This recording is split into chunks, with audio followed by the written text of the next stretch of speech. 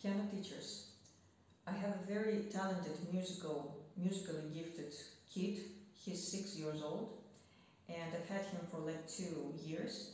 And although his listening abilities and his ears are in a very good and very high level, he even picks up harmonies.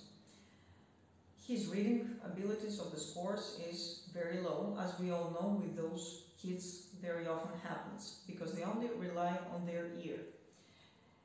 So I've had him uh, today at the lesson do my job. I asked him to pick my pencil, and while we were working on a phrase, every time that his right hand was playing the piece that he had to play, key by key, beat by beat, his left hand was supposed to follow those keys on that beat. And it actually worked. So this way, he gets to use this